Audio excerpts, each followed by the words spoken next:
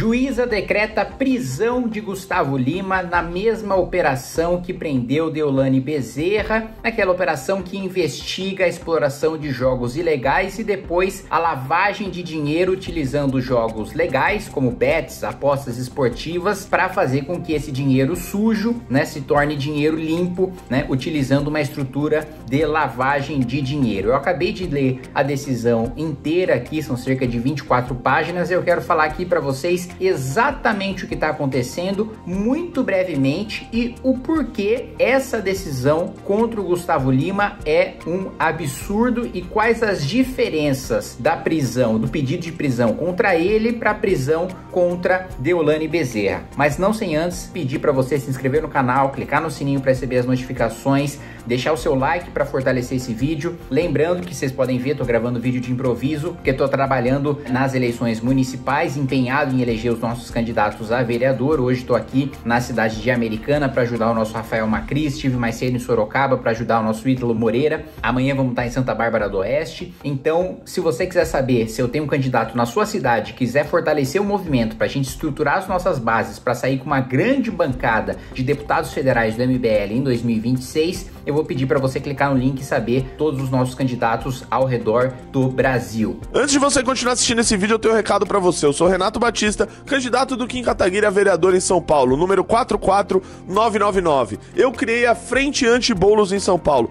a maior frente política de enfrentamento a esse invasor que quer ser prefeito da nossa cidade. Se você quer receber o nosso material na sua casa, clica no link forabolos.net que eu vou enviar para você gratuitamente e para todo mundo que for da cidade de São Paulo. Diferente da Deolane Bezerra, né, que pesam contra ela acusações de exploração de jogos ilegais, de lavagem de dinheiro, de pessoas muito próximas terem relações com o PCC, com o crime organizado, por que, que o Gustavo Lima teve um pedido de prisão preventiva, que é uma prisão temporária, prisão provisória, melhor dizendo, que precisa cumprir determinados requisitos para ele ser preso, mesmo sem ser condenado, mesmo sem o processo ter transitado em julgado. Eu vou resumir, é uma situação muito simples aqui para vocês, apesar da juíza utilizar boa parte da sua decisão para fazer militância política, para falar em defesa da classe trabalhadora, para falar contra os ricos. É quase como se ela tivesse inveja da riqueza, inveja da fortuna na sua decisão que eu li na íntegra. E se você ler na íntegra também, vai ter a mesma percepção que eu, que ela gasta mais tempo fazendo militância política do que falando sobre o direito, falando sobre o que, que justifica você fazer um pedido de prisão preventiva. Vamos lá. O que, que aconteceu? Primeiro, importante vocês saberem: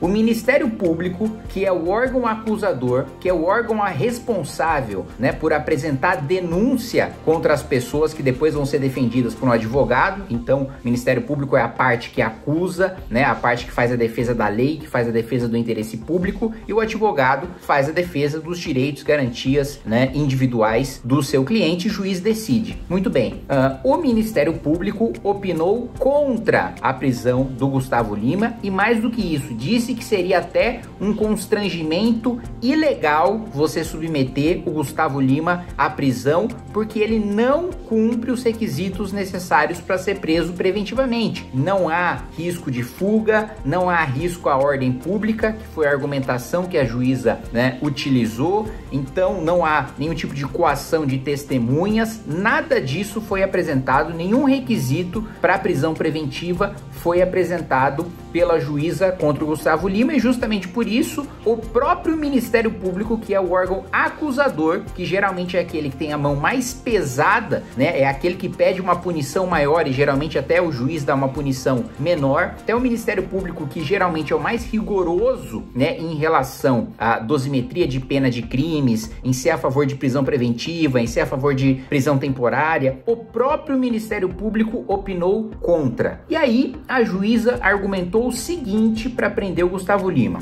Gustavo Lima levou no jatinho duas pessoas, né, que estavam sendo investigadas, mas próprio Gustavo Lima não sabia, como ninguém sabia, porque a investigação corria em sigilo. Muito bem. Então, ele levou duas pessoas que estavam sendo investigadas, né, no, jatinho, no seu avião, lá para a Grécia. Muito bem. Depois que eles já chegaram na Grécia, depois que Gustavo Lima já deixou as pessoas lá, ele foi lá, fez show, não sei é o que ele foi fazer lá, foi expedido um mandado de prisão contra essas duas pessoas. E essas duas pessoas, né, entraram pro Banco Nacional de mandado de prisão e estavam com o mandado de prisão expedido e caso não se apresentassem para a justiça, se transformariam em foragidos. O que que a juíza utilizou para argumentar, né, pela prisão do Gustavo Lima? O Gustavo Lima voltou da Grécia neste mesmo avião sem essas duas pessoas. Agora eu pergunto para vocês, o Gustavo Lima tem a obrigação de trazer pessoas que têm mandado de prisão expedido de volta para o Brasil? Não, ele não é autoridade policial. Quem tem o dever legal, sempre que vê um crime, que vê um foragido,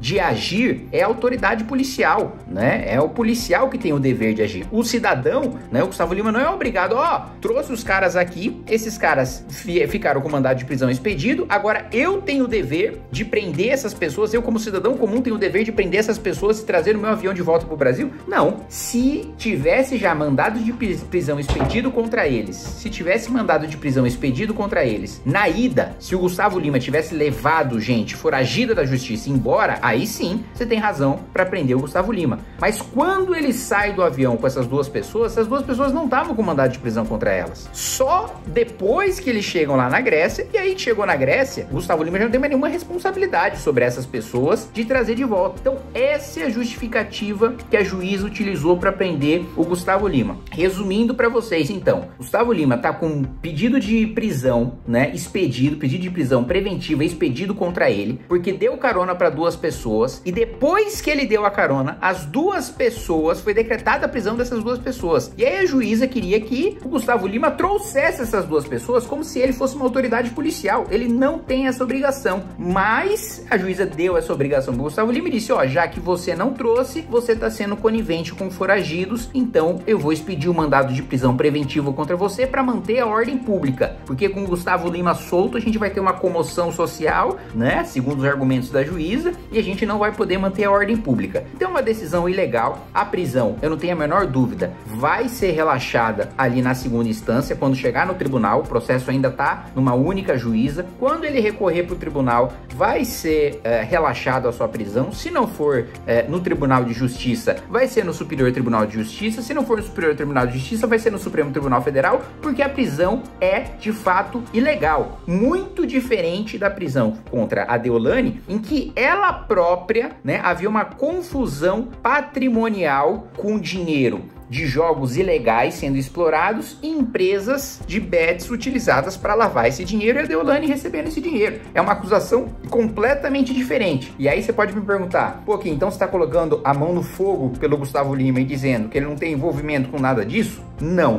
Eu estou dizendo que neste caso, nessa decisão dessa juíza, a prisão é absolutamente ilegal, porque não tem fundamento para você prender preventivamente uma pessoa que não tem obrigação de trazer foragidos à justiça no seu jatinho particular. Não existe essa obrigação legal e nós temos um princípio da legalidade que é constitucional. Ninguém será obrigado a fazer ou deixar de fazer alguma coisa senão em virtude de lei. Pois bem, nenhuma lei obriga o Gustavo Lima a trazer com seu jatinho foragidos pedidos da justiça para o Brasil para eles serem presos, né? Então uh, são situações completamente distintas. Ah, no futuro descobrem que alguma empresa do Gustavo Lima estava envolvido na lavagem de dinheiro, estava envolvido na exploração de jogo ilegal. Aí é outra decisão, aí são novos elementos, novas provas, novas investigações que podem no futuro fundamentar uma prisão legal. Agora, com o que a gente tem hoje, a prisão do Gustavo Lima é absolutamente legal.